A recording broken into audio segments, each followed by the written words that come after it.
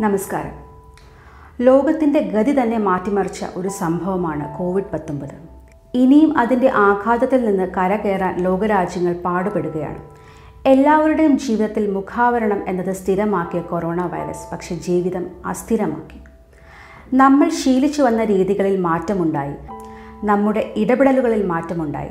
നമ്മുടെ വ്യാപാര വ്യവസായ രീതികളിൽ മാറ്റമുണ്ടായി.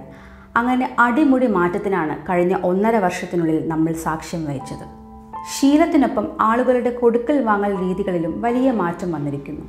പരമാവധി പുറത്തിറങ്ങാതെ പലചരക്ക് സാധനങ്ങൾ പോലും ഹോം ഡെലിവറി രീതിയിൽ വാങ്ങുന്ന ആളുകളുടെ എണ്ണത്തിൽ ഗണ്യമായ വർധനവാണ് ഉണ്ടായിരിക്കുന്നത്. കൊറിയർ സേവനങ്ങളും ഉയർന്നു വരുന്നു. നേരത്തെ ഉണ്ടായിരുന്നെങ്കിലും ആളുകൾ ഓൺലൈൻ സേവനം ഏറ്റവും കൂടുതൽ ഉപയോഗപ്പെടുത്തിയത് ലോക്ക്ഡൗൺ കാലത്താണെന്ന് വിവിധ പഠനങ്ങളിൽ പറയുന്നു. രണ്ടായിരത്തി പതിനാറിലാണ് രാജ്യത്തെ ആദ്യത്തെ ഡിജിറ്റൽ സംസ്ഥാനമായി കേരളത്തെ പ്രഖ്യാപിക്കുന്നത്. അന്നു മുതൽ ഇ കൊമേഴ്സ് രംഗത്തെ മെച്ചപ്പെടുത്താനുള്ള പദ്ധതികൾ കേരളത്തിൽ നടപ്പാക്കി വരുന്നുമുണ്ട്. പക്ഷേ ഇതുവരെ ഓൺലൈൻ സേവന രംഗത്തേക്ക് എത്താതിരുന്നവർ പോലും അതിജീവനത്തിനായി ഈ മേഖലയിലേക്ക് എത്തി എന്നതാണ് ലോക്ക്ഡൗണിൽ കണ്ട പ്രത്യേകത. ഇപ്പോൾ ചെറുകിട സംരംഭങ്ങൾ മുതൽ വൻകിട സംരംഭങ്ങൾ വരെ ഓൺലൈൻ കച്ചവടത്തിന് പ്രാമുഖ്യം കൊടുത്തുകൊണ്ടാണ് മുന്നേറുന്നത്. എന്നാൽ ഓൺലൈൻ മേഖലയിലെ സാധ്യതകൾ ഇനിയും വിനിയോഗിച്ചിട്ടില്ലാത്ത അല്ലെങ്കിൽ അതിനുള്ള സാഹചര്യം ഇല്ലാത്ത നിരവധി സ്ഥാപനങ്ങളും സ്ഥലങ്ങളും ഇനിയുമുണ്ട്. വികസനങ്ങൾ വന്ന നഗരങ്ങളിൽ ശ്രദ്ധ കൊടുക്കുന്നതിനൊപ്പം ഗ്രാമപ്രദേശങ്ങളിൽ കൂടി വിജയിക്കാൻ സാധ്യതയുള്ള സംരംഭങ്ങളായിരിക്കണം ഇനി നമ്മുടെ ലക്ഷ്യം. അങ്ങനെയുള്ള ഏതാനും സംരംഭങ്ങളും അവയുടെ സാധ്യതകളും നമുക്ക് പരിശോധിക്കാം. ഒന്ന് ഡെലിവറി സേവനം. ഇനിയുള്ള കാലത്ത് ഏറ്റവും വേഗത്തിൽ വളരാൻ പോകുന്ന സേവനങ്ങളിൽ ഒന്നാണ് ഡെലിവറി സേവനം. ഇന്ത്യയിൽ മാത്രമല്ല ലോകത്തെ എല്ലായിടത്തും ഡെലിവറി സർവീസ് വളർന്നുകൊണ്ടിരിക്കുകയാണ്. അമേരിക്കയിൽ ഏറ്റവും വേഗത്തിൽ വളരുന്ന ബിസിനസ്സുകളിൽ ഒന്നായി ഇവ മാറിക്കഴിഞ്ഞു.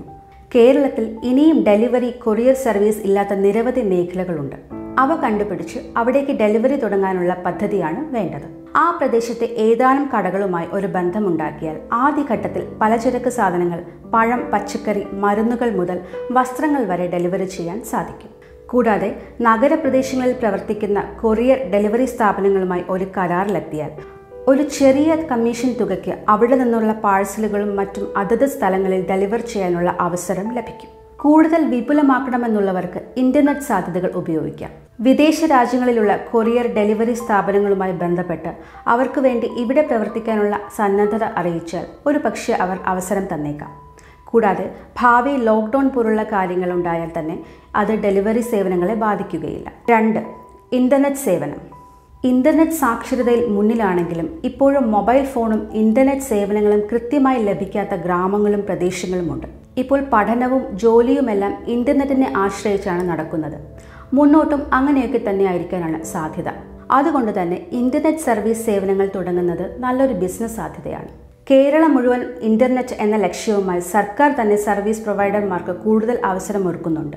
അവരുടെ ഫ്രാഞ്ചൈസ് കിട്ടുക എളുപ്പമാകും.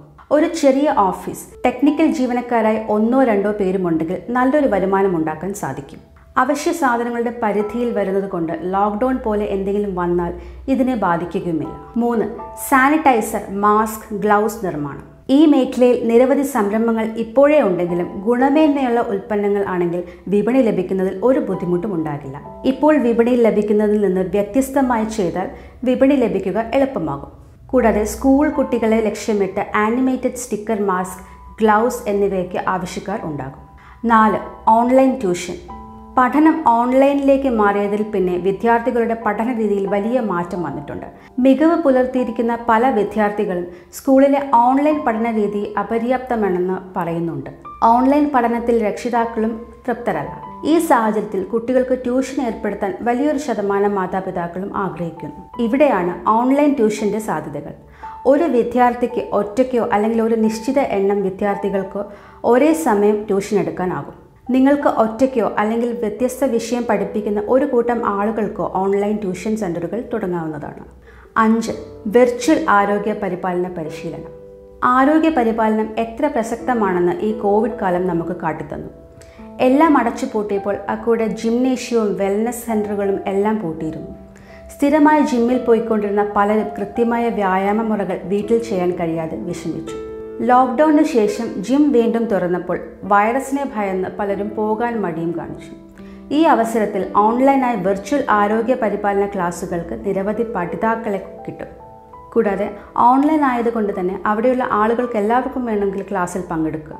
നിലവിലുള്ള ജിം ട്രെയിനേഴ്സ് കൂടാതെ ഈ മേഖലയിലേക്ക് കടന്നു വരണമെന്ന് ആഗ്രഹിക്കുന്ന ആളുകൾക്ക് തുടങ്ങാവുന്ന നല്ലൊരു ബിസിനസ്സാണിത്